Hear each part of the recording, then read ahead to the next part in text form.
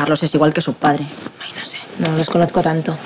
Pero es verdad que hay hermanos que no se parecen en nada. ¿Sabes una cosa? Que ayer les oí discutir. ¿En serio?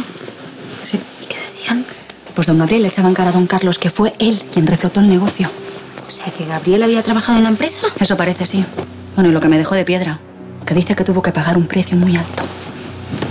Madre de mi vida. Mejor Carlos hizo algo, ¿no? Yo qué sé, este es capaz de cualquier cosa. ¿Sabes lo que te digo? Que voy a revisar los artículos que tengo, que igual se me ha escapado algo. ¿Qué artículos?